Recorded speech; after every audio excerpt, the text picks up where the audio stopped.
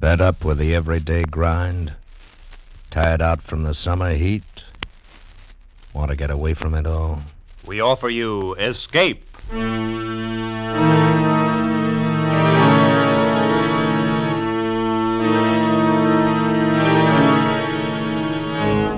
Escape, designed to free you from the four walls of today for a half hour of high adventure.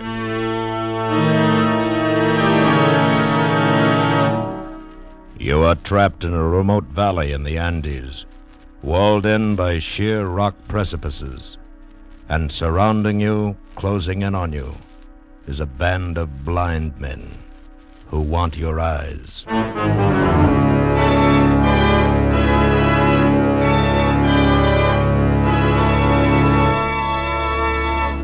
Tonight, we escape to the mountains of Ecuador and to a remarkable world where sight is unknown, as H.G. Wells imagined it in his gripping story, The Country of the Blind.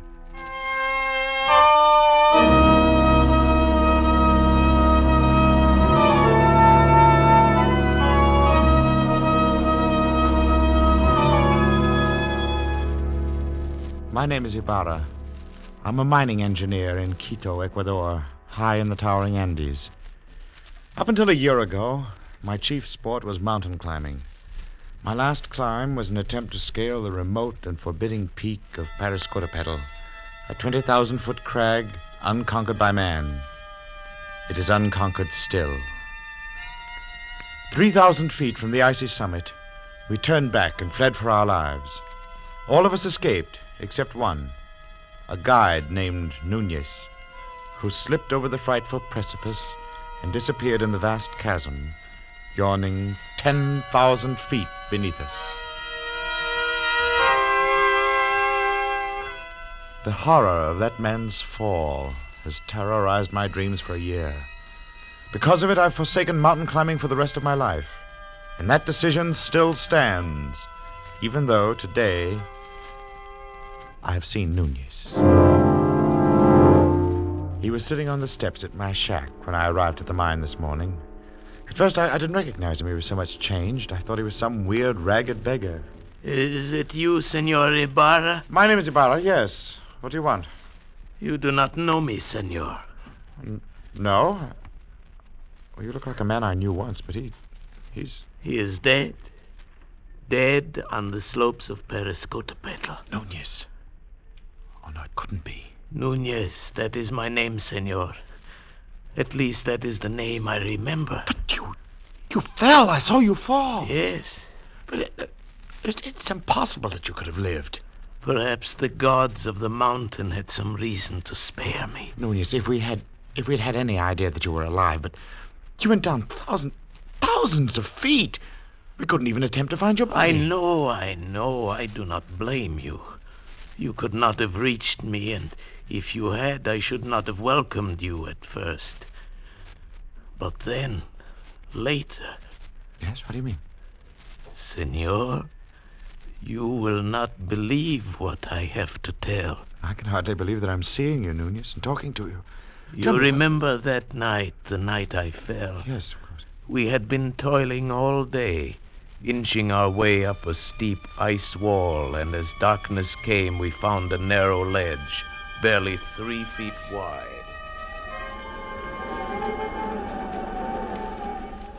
It's not very wide, but uh, we can get our shelter wall up. Cut off some of this wind. Well, that will be welcome. Yes, Yes. but first we'll rest a moment. Oh, look at that icy devil up there, glistening in the moonlight. Yes. There's another 3,000 feet of sheer ice wall. We'll have to cut our own holes from now on. Won't even be ledges like this for resting places. Well, I can see why no one's ever made it. Do you think we should go on? I don't know. Nunez, what do you think? It is not my place to say, senor. I was hired to go to the top. I agreed. But what do you really think? If I believed in the gods of the mountain as the Indians do, I. I should be frightened now. Why? Because we have invaded the Forbidden Circle. This part of the Andes is unmapped and almost unknown, senor. It is an easy thing to believe strange things in this white loneliness. Some of the legends, are fascinating. I've heard of one, something about a hidden valley called the Country of the Blind. Yes. Oh. See? It is supposed to be somewhere down there, below us. A fertile valley which was settled many centuries ago and then cut off by the great landslide of Araka. Yes, but why the country of the blind? Even before it was cut off, the people developed a strange illness. All of them slowly went blind, and after that, their children were born blind. The legend is that the valley was the home of the mountain gods. It was too beautiful for human eyes. It's odd. But then, of course, it's all nonsense. Yes, yes, of course. It would be pleasant to find it, though. You know the old proverb in the country of the blind, the one eyed man is king. I doubt if we should ever find it. I even doubt if it exists. Of course not. I was only joking. Yes. Now, if you're rested, we'll make the shelter wall. Right, huh? I'll give you a hand in a moment. Believe me, Ibarra, for two pesos, I'd give up this climb. I never realized. Senor! Senor, I'm slipping! Ah!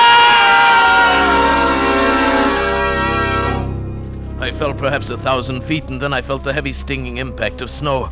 I'd fallen onto an almost perpendicular slope, and once again I was sliding down, down, tumbling over and over. But now, under me, around me, over me, an immense avalanche of snow was rumbling, sliding with me.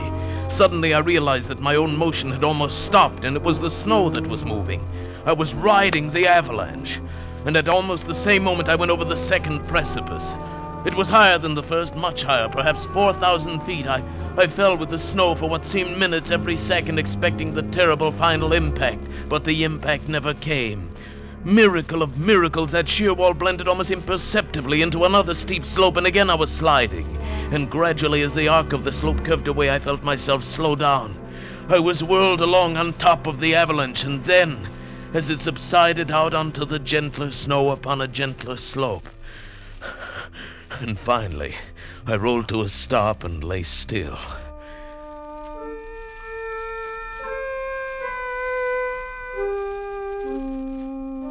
When I awoke, it was morning and I was covered with snow. I shook off the cold white blanket rolled over on my back and looked up.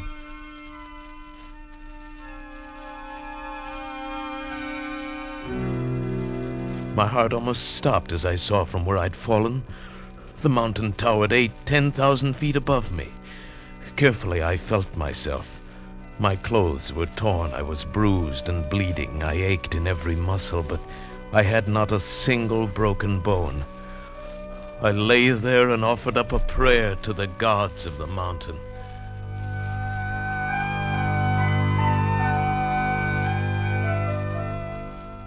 Far below me lay a lush valley sparkling in the morning sunlight. I could see the stately trees and green meadows fresh with dew.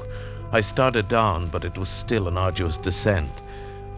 The farther down I got, the more I realized the beauty of the scene. Why, this was a hidden paradise I'd fallen into, and I was the first man ever to see it. So I thought. But I was wrong. I realized that first when I saw the cultivation in the meadows, and then the walks, well kept stone walks laid in a symmetrical pattern all over the valley. And then I saw them.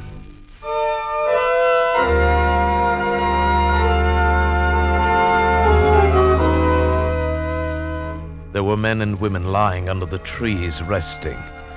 Nearby, a collection of windowless huts marked a village, and the plastering of the houses was done in a wild variety of colors. I thought to myself, hmm, the plasterer who did that must have been blind as a bat. then I saw the two men who were quite close to me. They were standing on a bridge over the little stream. They were dressed in odd, loose clothing, and there was a strange look about their faces. They failed to notice me as I approached until I shouted, and suddenly they looked up attentively in my direction. I waved wildly at them, but they took no notice. Why, the fools must be blind. Blind? Could it be I'd fallen into the legendary country of the blind? In the country of the blind, a one eyed man is king. Hello there. It is a man or a spirit come down from the rocks. Oh, I- I'm a man, all right, just like you, but I've had a miraculous escape, and now I find myself here in your valley. Valley? Valley? Come hither. Let me feel of you. Certainly, here, my my arm and my face. You see, I'm indeed a man like yourself. My my lips move with speech. You feel. Oh, uh, careful there. Gently on, on the eyes. Eyes? Eyes? That is strange. Feel this, Correa. Yes, I feel. Careful. You you feel the eyelids flutter? He is but imperfectly formed. Some strange bulge there. Unseemly. No, no, your eyes are shrunken in, but mine are whole. I can see. See? See? Pedro, he's a strange wild one. Where does he come from? Down out of the rock. No, from over the mountains, out of the country beyond there, where, where men can see. From Bogota, where there are a hundred thousand people and the city stretches out of sight. Sight. What strange words he uses, without meaning. And feel the coarseness of his hair, like a llama's. Ugh. And you have come into the world. Into? Why, no, out of the world. The big world beyond the mountains. The, the world that stretches 12 days' journey to the sea. Our fathers have told us men may be made by forces of nature. It is the warmth of things, and moisture, and rottenness. Let us lead him to the elders. You don't have to lead me. I can see. See? Yes, of course. I. I, I, I didn't see your water bucket. His senses are still imperfect. He stumbles and talks meaningless words. Lead him by the hand. But look, I. I... oh, well, all right. These people had been blind for centuries. They'd forgotten even the words associated with seeing, and they thought I was an idiot, only half formed. Especially when they led me into the pitch blackness of one of their windowless huts and I stumbled over someone. Oh, oh, Oh, a thousand pardons, Medina Sarote. He is a clumsy one. I'm sorry, I, I fell down. I couldn't see in the darkness. Who is this? And what is he saying? He is but newly formed. He has come down from the rocks. He stumbles as he walks and mingles words that mean nothing with his speech. He is a wild man out of the rocks. No, I come from Bogota, over the mountains. You hear? Bogota. He uses wild words. His mind is hardly formed. He has only the beginnings of speech. Bogota. Yes, I come from the great world where men have eyes and see. That must be his name, Bogota. He stumbled twice as we came thither. He must be taught. No, no, don't you understand? I can see, but not in the dark. To you, darkness or light is all the same, but to me, to to us outside in the world beyond the mountains, Mountains? What are mountains? Oh, very well, then beyond the rocks. There is nothing beyond the rocks. That is the end of the world. But surely you must realize the sky above covers more than Sky this valley. There is nothing above but the roof of rock. He is very raw, my children. He shall have to be taught from the beginnings. Take him away, feed him. But guide him, see that he does not stumble over my daughter again. Do not fear, Father. I shall guide him myself and feed him. Very well. Come, take my hand. Thank you. It'll it'll be a pleasure to get outside again out of out of this darkness. Come this way. Yes. Uh, what is your name?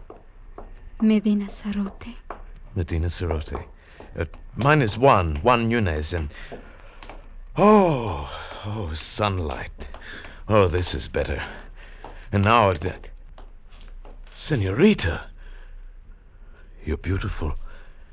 I cannot tell what a wonderful thing you are to see. Please, I'm afraid for you. Afraid? Yes, if you do not learn quickly and cease speaking such strange words, they may not be so kind to you. They might be angry. They might even destroy you. This thought had not occurred to me before, and suddenly I had a twinge of fear. Still, the proverb kept running through my mind In the country of the blind, a one eyed man is king. But try as I would, I could not make them understand my wonderful gift of sight. They simply could not comprehend it. Worse, they were not impressed. They, they thought me stupid and untaught, almost an idiot. Day by day, I, I learned their peaceful ways, but they could not learn mine. It was getting on my nerves, and theirs too, perhaps. Bogota. Bogota, come hither. Bogota, you move not. No, and I won't, you old beetle. I'll show you. I'll leave the path and. Bogota, trample not on the grass. It's not allowed. I. How did you know I stepped on the grass? I heard, of course. Heard, but I didn't make a sound. Why do you not come when I call you? Can you not hear the path as you walk? I can see it. There is no such word as see. Cease this folly and follow the sound of my feet. Oh, my time will come. You will learn. There is much to learn in the world. Has no one ever told you in the country of the blind the one eyed man is king? Blind? What is blind? Oh, never mind. Go on. Bogota, I must warn you. Just keep quiet and learn. And stop this nonsense about seeing. Nonsense, is it? I'll show you. I've taken enough of your insults. Unformed mind, got no sense. I'll be king here. I can see, and I'll be king. Bogota, stop it. No, I'm through with your orders. I'll show you what an advantage sight can be. I can hit you, hurt you, and you can't see me to strike back. Bogota, put down that spade. You devil, your ears are sharp, aren't they? But it won't do you any good now. I'll show you. I'll strike. I'll. No, no, I can't do it. I cannot hit a blind man. Bogota, pick up that spade. Do not leave it lying on the walk. Someone might stumble. Pick it up yourself. Do as I say. Take your hands off me. Take them off. Bogota! Bogota! Stop! I finally lost my temper and shoved him over and ran. The next half hour was a nightmare. Before I reached the fields, they were following me, 20 or more of them, armed with sticks and spades, fanning out across the meadows, following my trail like bloodhounds. At first, I, I wanted to laugh, but on they came, swift, inexorable, and the laugh froze in my throat. They didn't need eyes. They, they could smell me, feel my trail. On they came, closer and closer, encircling me, closing in. Bogota! Bogota, there must be no violence. You must come peacefully. By heaven, I'll hit you if you come any closer. I swear I will. Bogota. You don't understand. You you are blind. I can see. I can see. Grab him. I'll hurt you. I swear I will. Leave me alone. I hit his arm, turned, and ran over the wall outside the valley back to the rocks to the precipitous cliff I'd come down. But when I reached that sheer rock wall, I knew there was no place to go.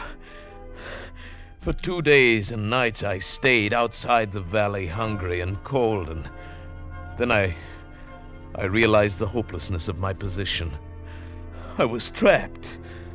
I must spend the rest of my life here. There was no way out. So I went back. I confess I was mad. I. uh, I admit I was only newly formed. That is better. And do you still think you can see? No. No, that was folly. The word means nothing. Less than nothing. And what means overhead? Rock is the overhead. There is a roof above the world, a roof of rock and very smooth. Very well.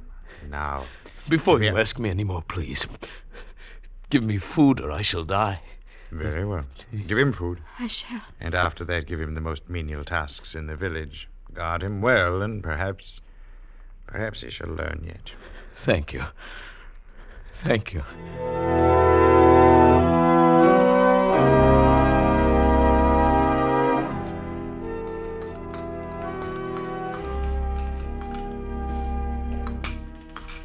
Oh, oh, that is better. You are kind, Medina Sarote. Very kind. I am glad you came back. You are? If they were all like you, I should never have run away. What was that word you said I was?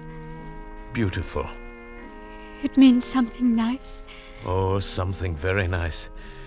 Medina Sarote, why is it you have no husband? I. I have a disfigurement. These long hairs. Your eyelashes. Oh, but they're beautiful. They are considered a disfigurement. Oh, you're the most lovely girl in the valley, but they wouldn't know, would they? And so you have no lover, No. Medina Sarote. What do you think of me? Do you think of me as an idiot like all the no, rest? no. You have much to learn, but You will learn it, I'm sure. And you are kind and gentle. Your voice is soft. You speak the words that are soft and warm. No one has ever spoken such words to me. Then I shall speak them often, Medina Sarote. You are the only one in this valley, in this world that I care for.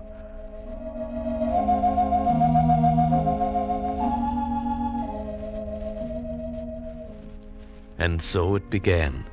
I, the village idiot, the slave boy who dreamed to be king, I, with my eyes still whole, fell in love with Medina Sarote, the daughter of the elder of the village. Only to her could I open my heart without fear, and only to her could I speak of the beauty I could see around me. It is a beautiful valley, green with grass and yellow with sunlight and flowers, bright flowers dotting the hills.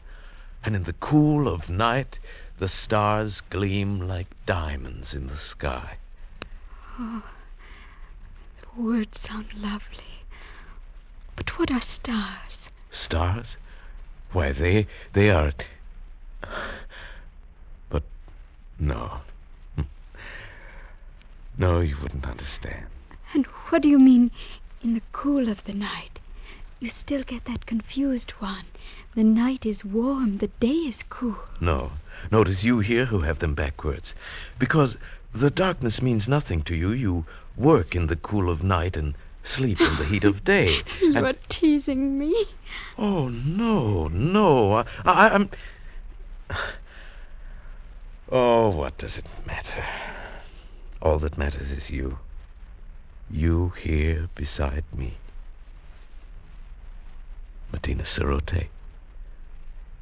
I love you. And I love you. I.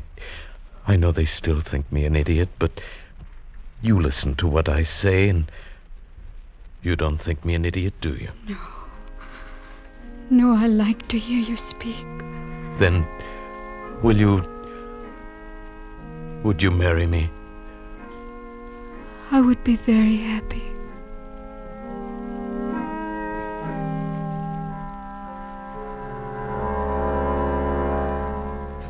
No, I will not have it. But, Father. He's an idiot. He has delusions. He cannot do anything right. But he's getting better. He's better than he was. And he is strong and kind. Stronger and kinder than anyone in the world. And he loves me. And I love him. No, I will not have it. Uh, great sire, if you please. Yes? What is it, good doctor? I have examined Bogota, and the case is clear to me. I think very probably he might be cured. Uh-huh. And how might that be done? His brain is affected by something. I believe I know what it is. Those queer things he calls eyes. Where we have but an agreeable depression, he has great lumps. Consequently, his brain is in a constant state of irritation. But what can be done to cure him? Oh, it's a very simple surgical operation. Remove the cause of the irritation. We will merely cut out his eyes.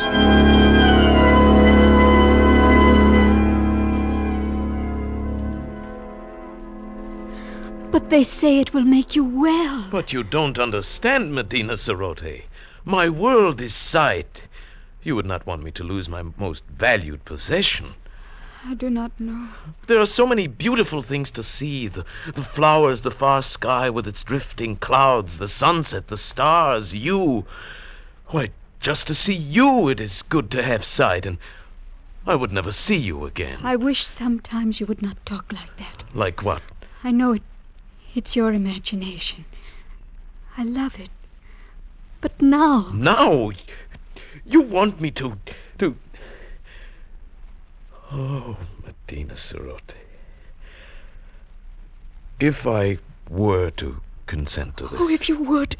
If only you would. What else can I do? Oh, my dearest one. My dearest with a tender voice. I will repay you. Oh, Medina. Be brave. Carry my voice in your thoughts. Now I must go. And tomorrow. Yes. Tomorrow will be forever. Goodbye. Goodbye, Medina.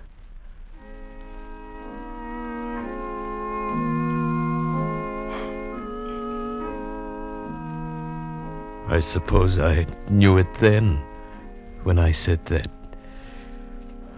I only meant to go up on the rocks and look out over the valley, to spend my last day feasting my eyes on the wonderful, beautiful world of light and color. But when I got there, it was too beautiful, too lovely, this valley, this home of the mountain gods. Beautiful and forbidden. I drank it in, the green of the fields, the blue of the gently curving stream, the orange of the lichen in the rocky crevices. I climbed higher to see the great snow-capped peaks towering above and away to the distant sky, and higher still as the shadows turned the snow to purple and crimson and deep blue. The valley was far below now, and as beautiful as a painting. But like a painting, it looked unreal. Medina Sarote was small and far away, a distant dream. And the world of sight was here, all around me, overpowering, wonderful. I turned and began to climb up that sheer rock wall.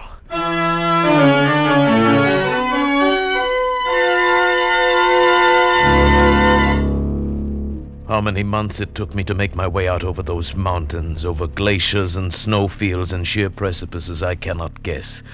How I lived through the cold and hunger of it, I cannot tell you. But I'm here at last, back from the country of the blind. Good heavens, man. What an experience. Terrible and wonderful. But you, you aren't sorry you came back. Sorry.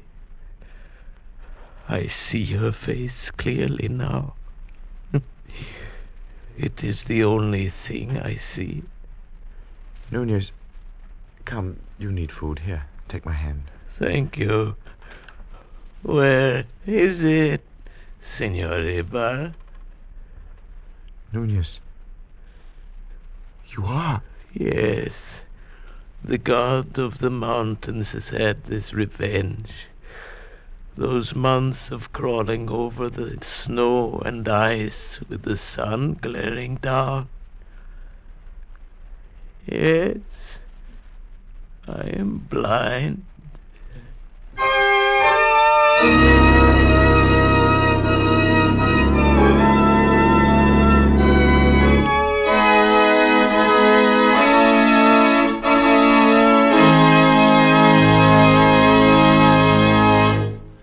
Escape is produced and directed by Norman Macdonnell, and tonight brought you The Country of the Blind by H.G. Wells, adapted for radio by John Dunkel, and featuring Paul Frees as Nunez, Berry Kroeger as Ibarra, and Peggy Webber as Medina Sarote, with Wilms Herbert as Correa and Byron Kane as Pedro. Music was conceived by Cy Feuer, with Ivan Ditmars at the organ. Next week. You are spurring a lathered horse through the darkened streets, trapped between two hostile armies with a bit of magic in your pocket, and the American Revolution in the balance.